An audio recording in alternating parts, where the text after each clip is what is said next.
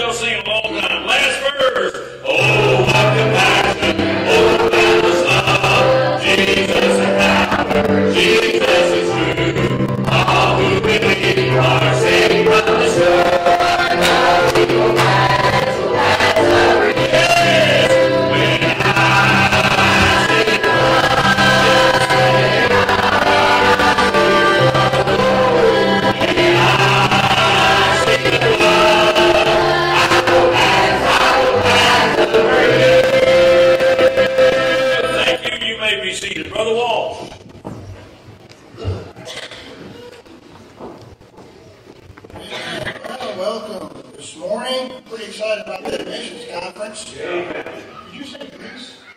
Greece building. I can do with some Greece now.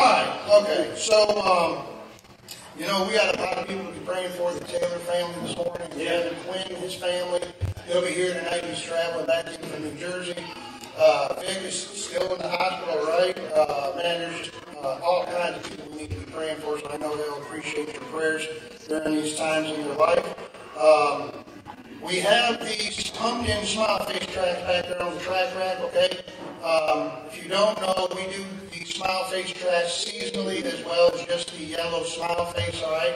Really easy to give out, probably one of the easiest gospel tracks you'll ever give out. So get back there, take them, give them out, and uh, trust the Lord to bless them, okay?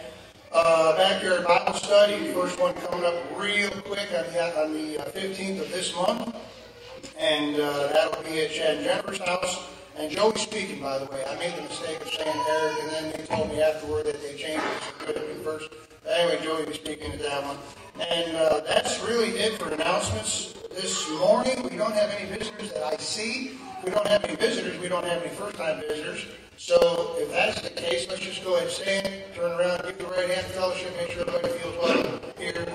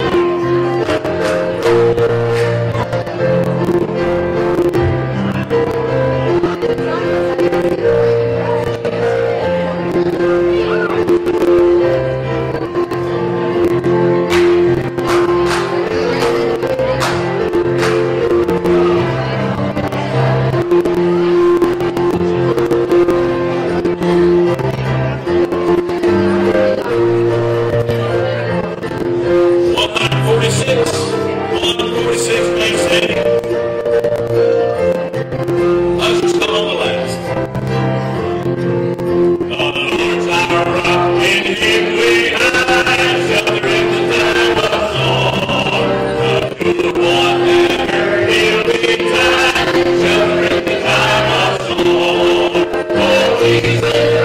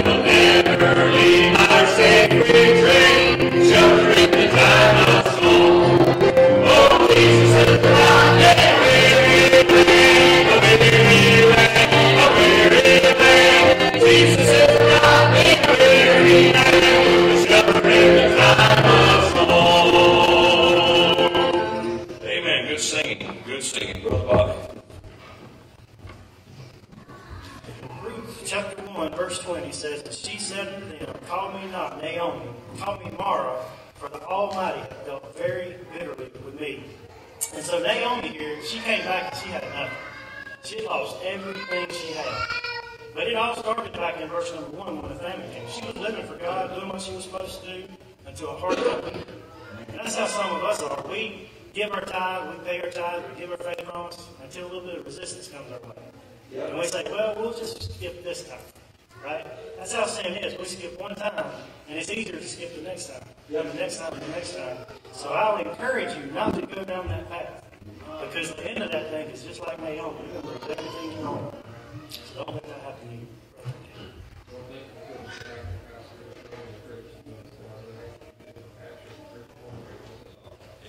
Have you seen it?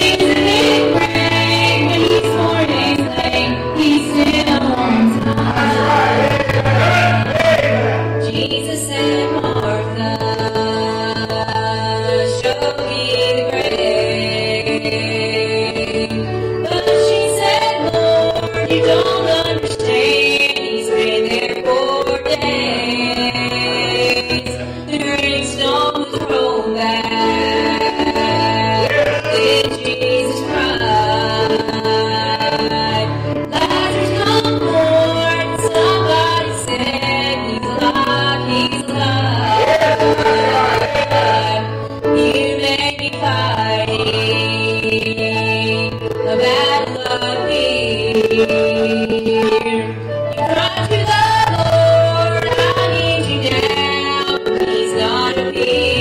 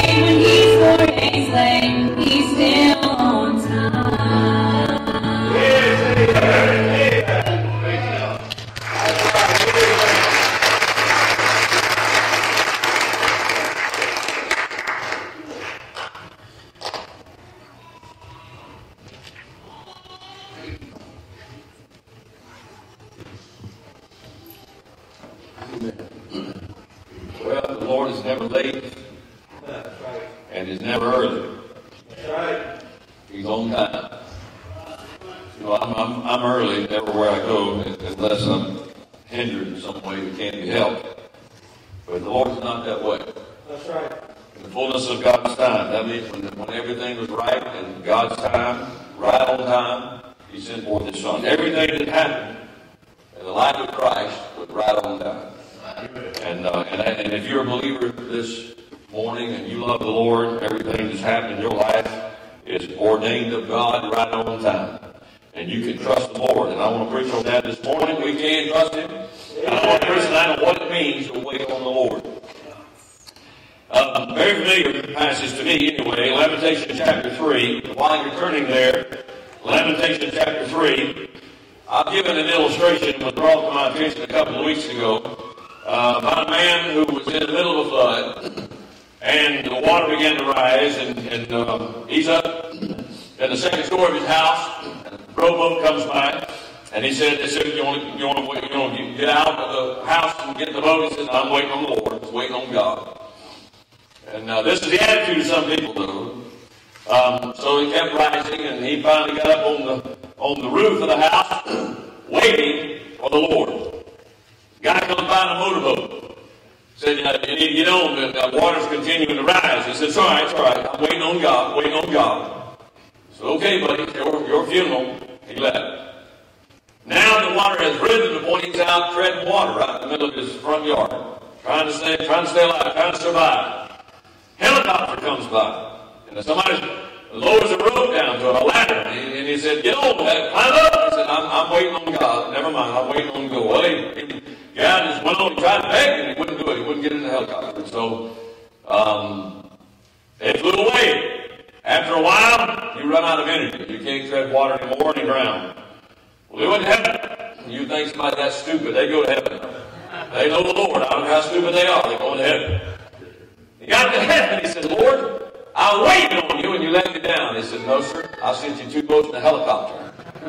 It's your foolishness that got you uh, drowned. So many times we have the idea of waiting on God is not doing anything when God sends some help.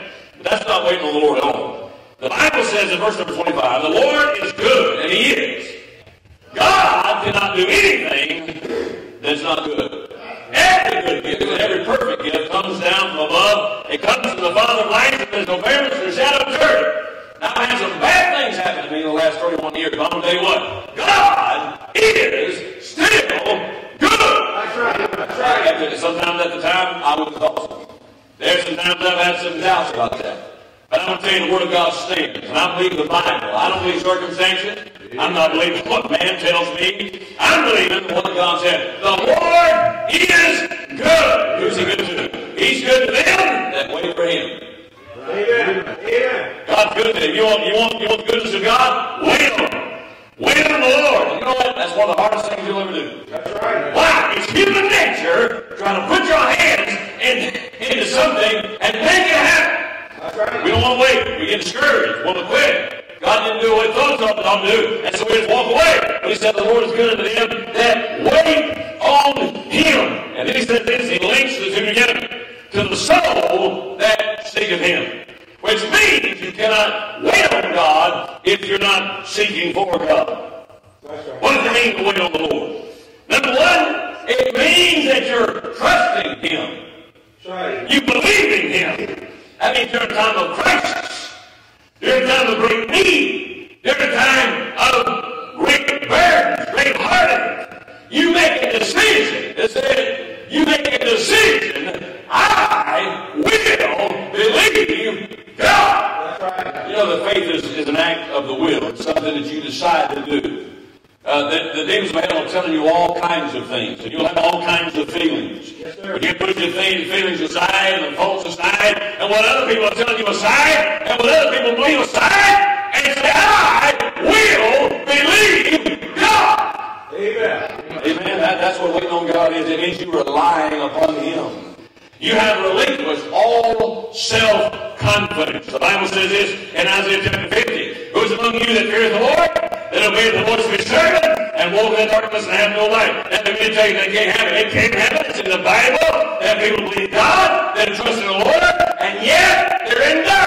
They have no light. God hasn't called to them. They don't know the direction they're supposed to take. And the Bible says here, let do what? Them trust in the name of the Lord and stay upon God. That means wait on the Lord. That means you're not doing anything. You, you relinquish all uh, confidence in everything but Him. And verse number 11 says this, Behold, all you that came of fire. If you say, well, I'm not waiting on God to do myself, that's the man that kills the fire. That's the man that gets in the flesh. That's the man that walks away from God. You compass yourself about with sparks that walk in the light of fire, and the sparks thereof are kindled, and you shall have my hand, you shall lie down in sorrow. But it, it, listen, it behooves us to wait on God. It behooves us to trust in the Lord. It behooves us to put our confidence in God Almighty and relinquish all confidence in everything else except for Him. When you go out, listen, when you go to college, you're going to, you're going to be tempted to believe the professor. He's going to tell you things that are contrary to what the Bible says. I don't believe the Bible. Hey, that professor's going to die. One of these days he's going to be pushing up daisies. One of these days the word's going to eat his flesh. Hey, his word's going to die with him. You know what I'm saying is? But this book, before even in your lap, is an advice forever. And it's established, we can stand on this Bible. We learn to wait on Him when we encounter things that are beyond our power.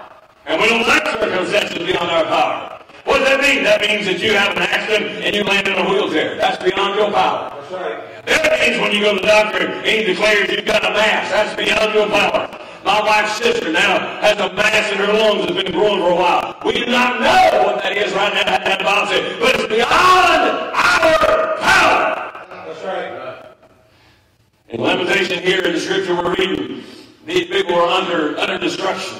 They had no help, nobody to turn to. The Bible says in Psalm 69 and 20, I looked for someone to take pity, but there was none. I'll tell you, friends, in this world you won't find a whole lot of people that'll help you, that'll take pity on you. But the nation of Israel, not one nation would lift a finger to help them.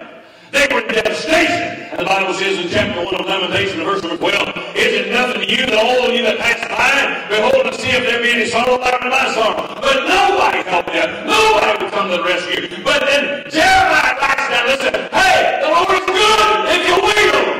That's right. He'll come to your rescue. Listen, man, you, you, you try for others to help you, and they fail. And it doesn't mean that you can't use means, by the way. They said, if you get sick, well, I'm going to wait on the Lord, I'm not going to use medicine. That's lunacy. I mean, God give doctors wisdom, and, and, and medicine is, is, is good. Now, we sat, uh, when Daisy had leukemia, and I sat and told Dr. Saha in a counseling room, I said, we're people of faith, we believe God. I said, I'm thankful for doctors and nurses and the wisdom and the medicine, and I'm, I'm, I'm, I'm, I'm glad but what I'm, ultimately what I'm putting my faith in is the Lord.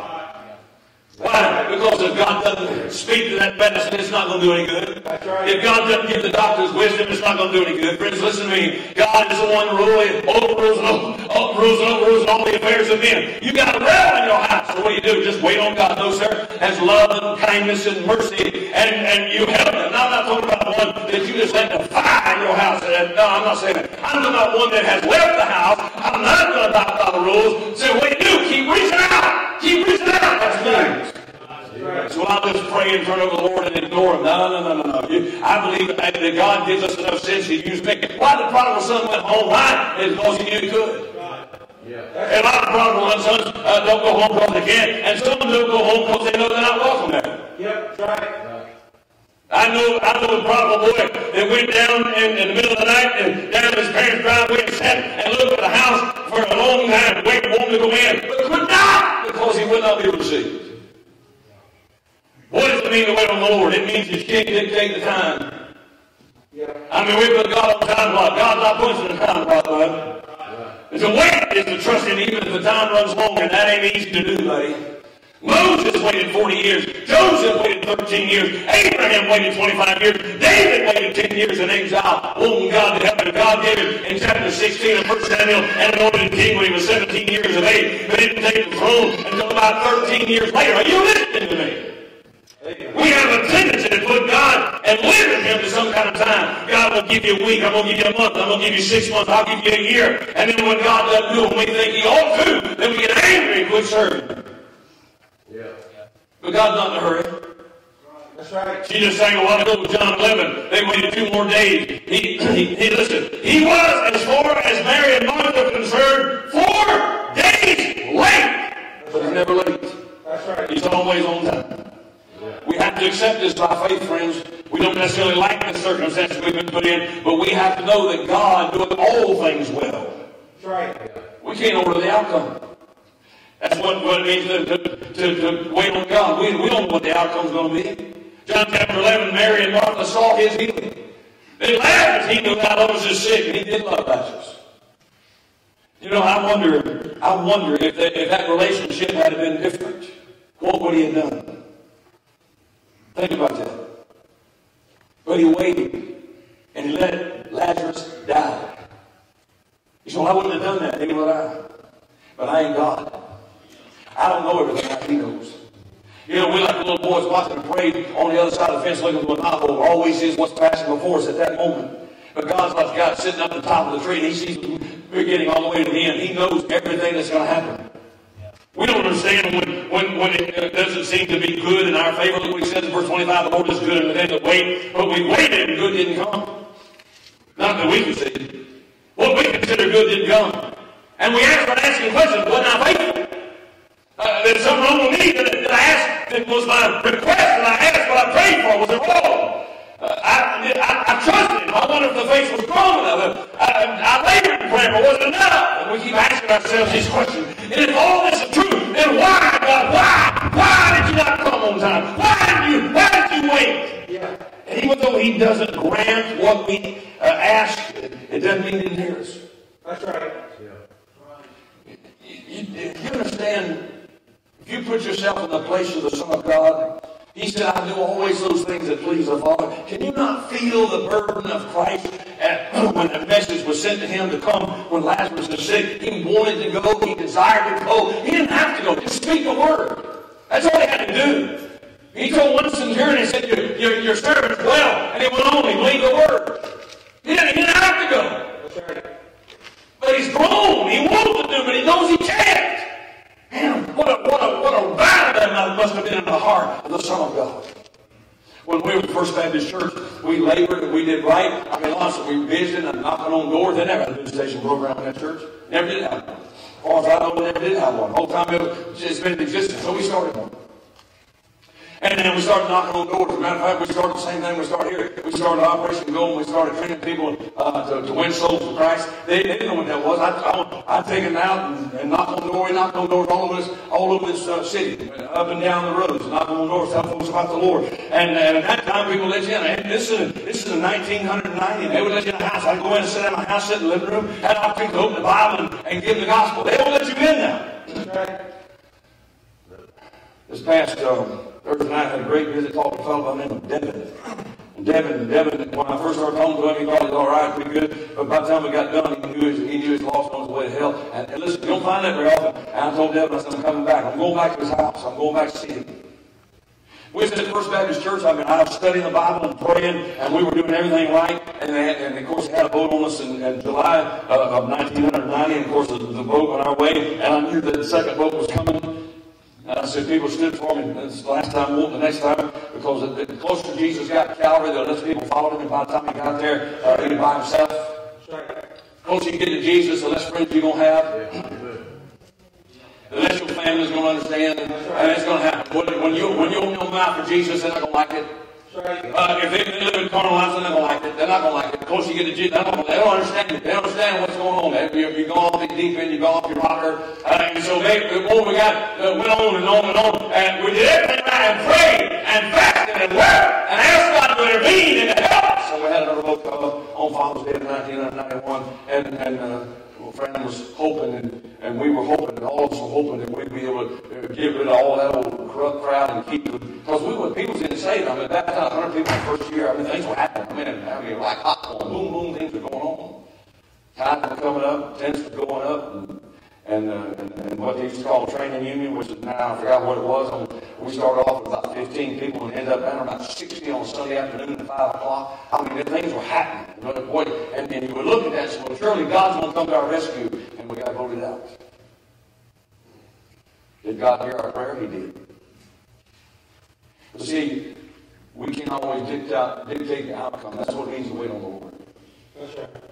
You know, I'm thankful for the, for the prayers that God's answered in the way that I've asked Him to do. But there are many times I've asked for things that come to pass the way I wanted. That's right. What it means to wait on Him to seek Him. Notice what He said in verse number 25. The Lord is good unto them that wait for Him to the soul that seek Him. He's linked those two together. You know why? It's because some people will look for what God will do for them, but not look for Him. That's right, Amen. You see, if you're really waiting on God, then you're seeking Him. You're not just seeking what He can do for you. You're seeking Him. Mary and Martha were seeking Him. They wasn't just seeking Him to heal that. They were seeking Him. We, we, they didn't say to speak the word only. They said, "You come. We want you. We want you down here on the premises."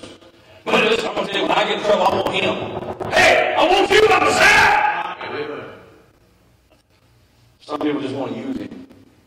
That's They don't want Him. They want Him. They want Him to do for them. That's right. And when He don't do it for them, they get mad. Yep. See, when we, if we're really waiting on the Lord, we are seeking Him, in the person of Christ. That's right. I preached this thing in, in, in brother and in, Tammy's funeral, and I talked about when Isaiah uh, saw also the Lord. And you know the Bible says in the 12th chapter of the book of John, who he saw, he saw the person of Jesus Christ sitting on that throne. It's, it's over there in John chapter 12. It's in it. Yes, amen. Wow! Hey, man, he was, he was looking. Hey, the help he needed, he got in the person of the Son of God. That's right. Amen. Jesus has been sitting on that throne forever. You know that, right? Yeah. Past, present, and future. Forever. To wait is to hunger for Jesus. To thirst for Him. To desire Him. Mary and Martha sought Him. They wanted Him. And you know what? He did come. And when you wait, when you're waiting on Him, listen, uh, He'll come. Are you waiting on the person of Christ this morning, or are you just waiting on Him to do for you? Go ahead. There is a difference. Yes, sir. Above everything else, we need Him. That's right. You don't want to get your life cleaned up? Him. Yes, amen. You don't want to cause you to come to Sunday school? Him. Amen. You don't want to, you don't want to cause your kids, that send your kids to Sunday school? Him. I never say, well, you don't have anything for children. They ain't kids to Sunday school. Right. That's right. Like the church. You for kids. You didn't come anyway. We'd have more for kids, we'd have more volunteers. That's right. I mean, you know, we want, we want, we want church to do for us what we want to do for it. Hey, waiting on the Lord don't mean you idle, buddy. That's right. Hey, a Sunday school teacher, you wait for the Lord to fill up your class, forget it. That's right. Forget it. Hey, when's the last time you sent a card? Amen. When's the last time you sent a text message? When's the last time you made a visit? Go ahead.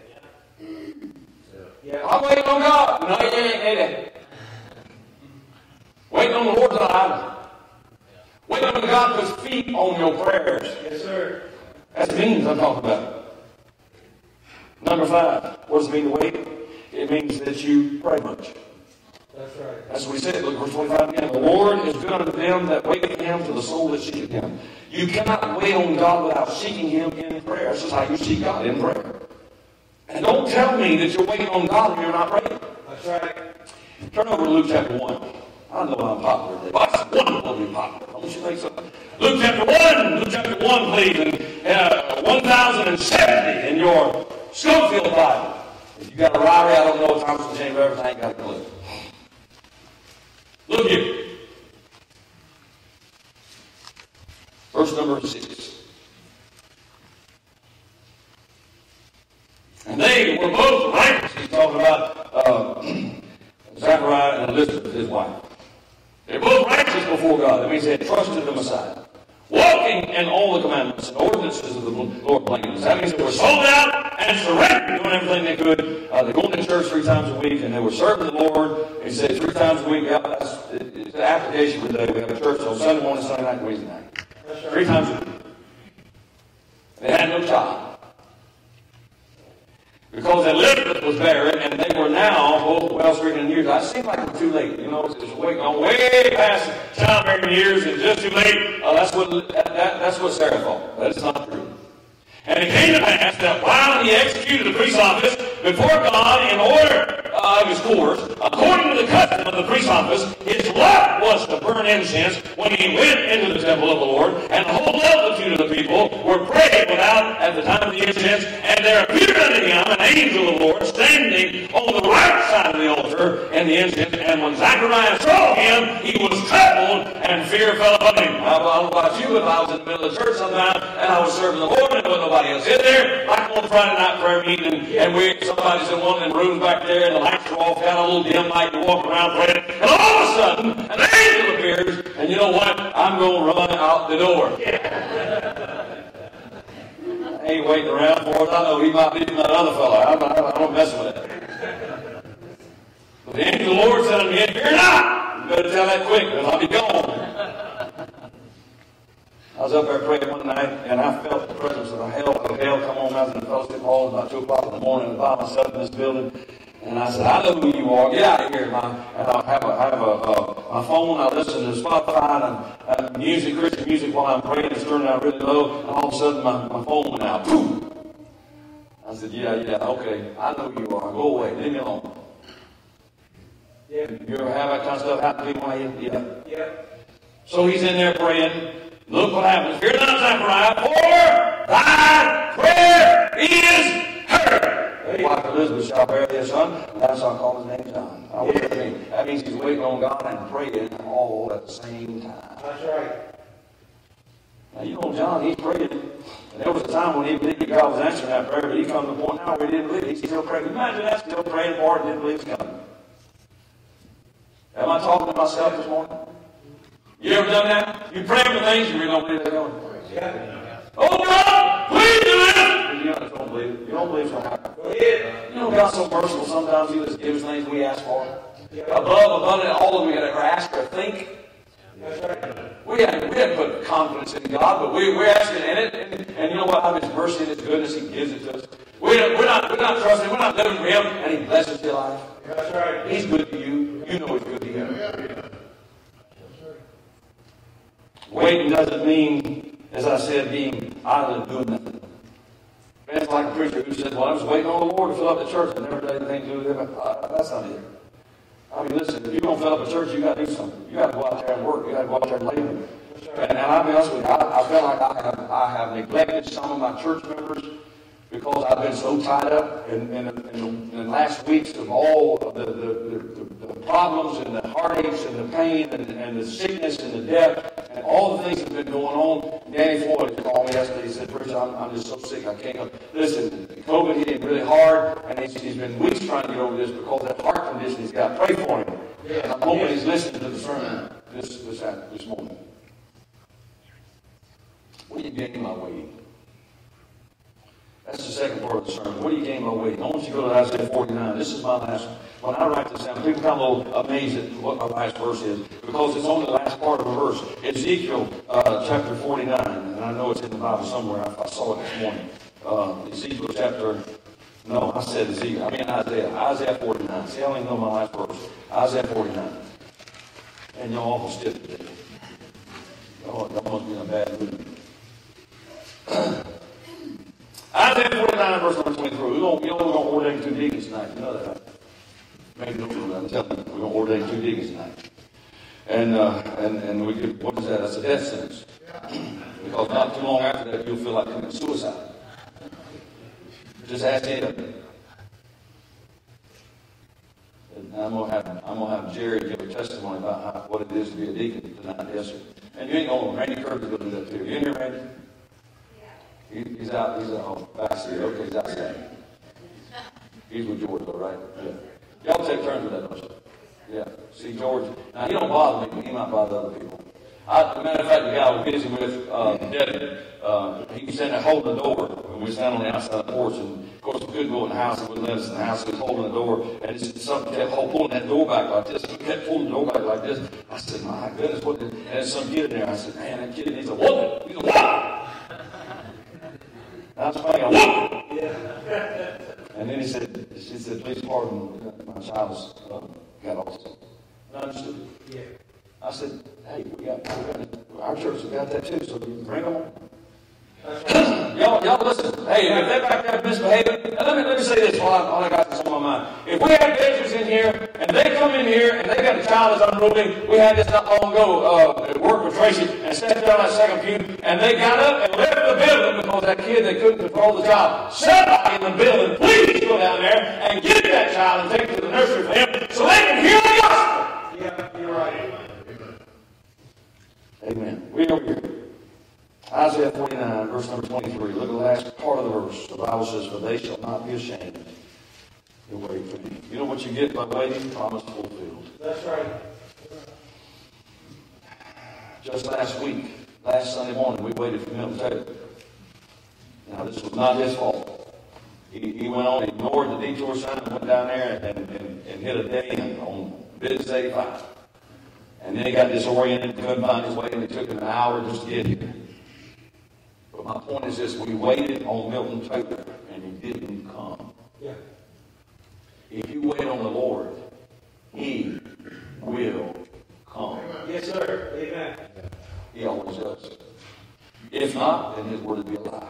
That's right. What else do you find? Well, in our text, you know what you find here? Goodness. He is good unto them that wait for him. God cannot be anything but good. He's good to us, and what he does is good for us. We may not see it. As a matter of fact, we, we may not even realize that while, while even, even months or years afterwards. There's times when these things happen. Why would God take Tammy? I don't know why God took Tammy. I have no idea. But I do know this. God never moves without purpose or plan. That's right. That's right. Everything he does has a purpose. That's right. Well, don't it, but we're finite, and God's eternal.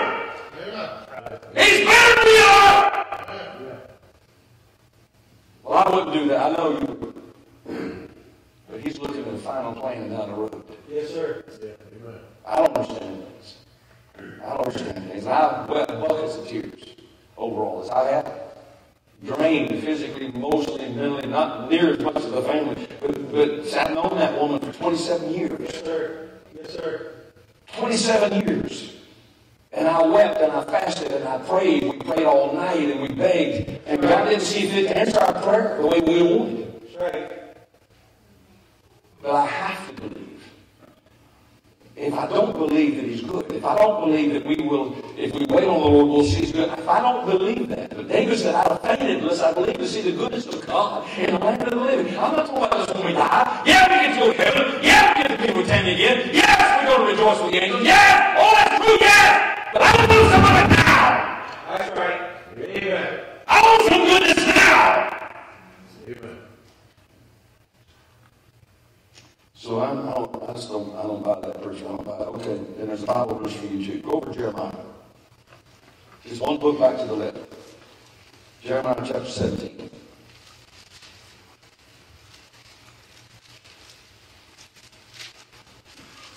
See, I'm still weeping with this family. Why? Because they're, they're, in a, they're in a place right now the devil is going to try his best to turn them.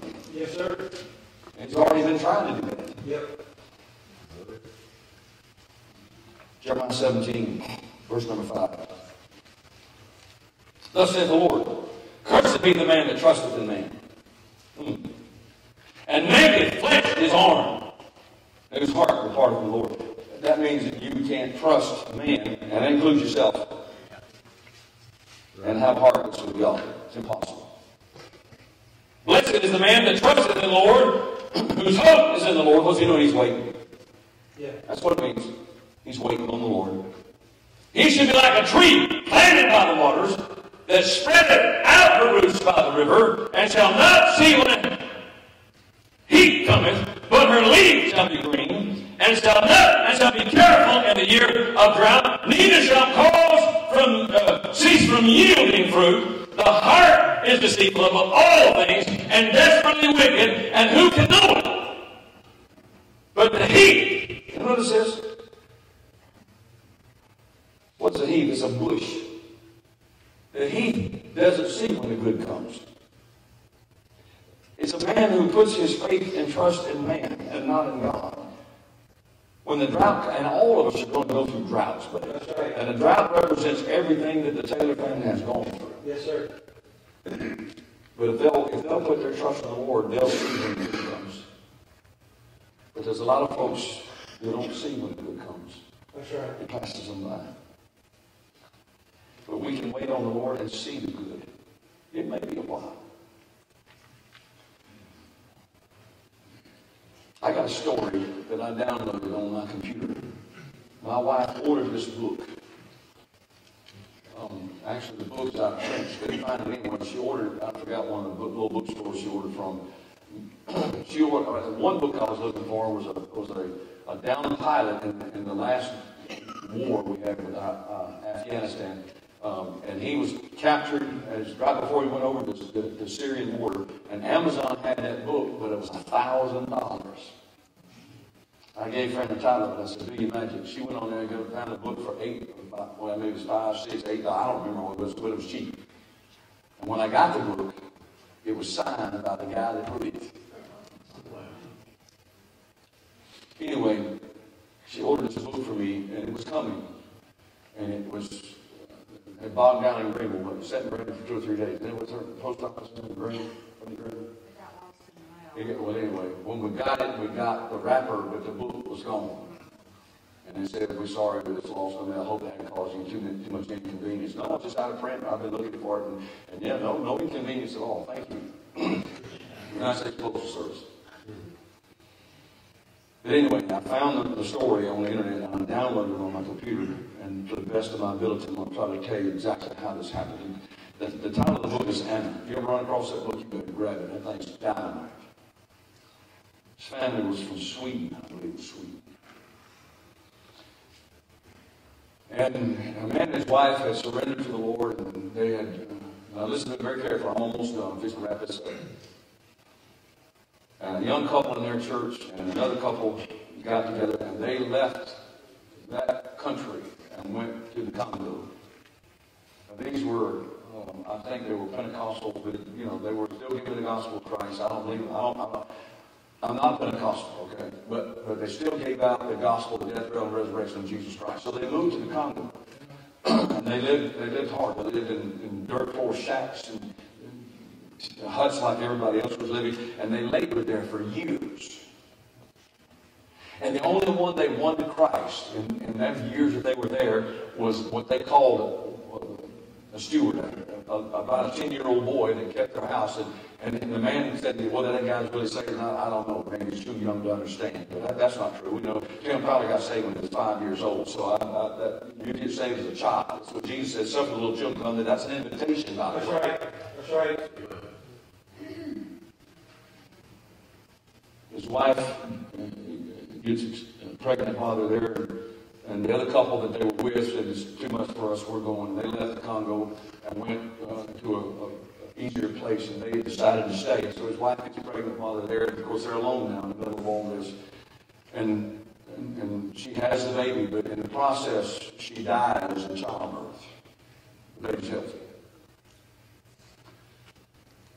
The man comes to a place in his life where he says, I have had it God. I don't know if you've ever been there or not. That's what he said. I'm done. He, he takes the baby, he leaves the Congo, takes the baby, he goes in, into the uh, place where the mission station was toward the coast and gives his child away. So another missionary couple says, I, I can't, I can't care for her. And sailed back to his homeland. This is early 1900s, what I'm understanding as I read this. The baby grows. This couple who he gave it to moves to America and raises the child. And she uh, surrenders to Christ as her Savior and turns and, and decides to go into missions. And so somewhere not too far away, they were having a missions conference. So she goes to this missions conference, and as a missionary now, you're I'm talking, 12, we're, we're, we're talking 20 years later. They're at a missions conference, and this guy stands up. He's, he's a, a, a black man from the Congo, and he's speaking English with, with the accent of the Congo, and he's talking about these people that came from Sweden that won him to Christ as a little boy, and, and how he now in turn, listen to me friends, how he then in turn won the whole village to Christ. And that village won another village, and that village won another village, and they established a Bible college there. And because of the witness of this couple, this woman dies, thousands of people in Africa had gotten saved, and many of them sold out to the ministry.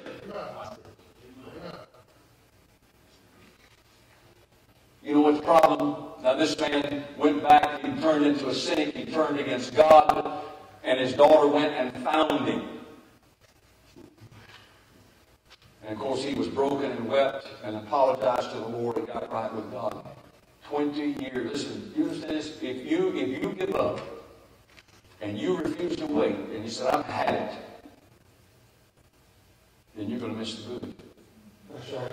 This man could have been a part of a ministry that, that reached a great multitude in the interior of Africa, but he quit too soon. It's always too soon to quit. Always. And I read the Bible and I see this. Moses kept his father-in-law's sheep for 40 years. Can you imagine this? And for 40 years he followed those bunch of rebels in the wilderness. But he got to see the glory of God. He said, now you can't see my face, but I'll tell you what I will do. Here's, here's the end. Here's the clincher. I'll make all my goodness pass before you. That's what you get for waiting. The Lord is good unto those that wait. Travis, would you come?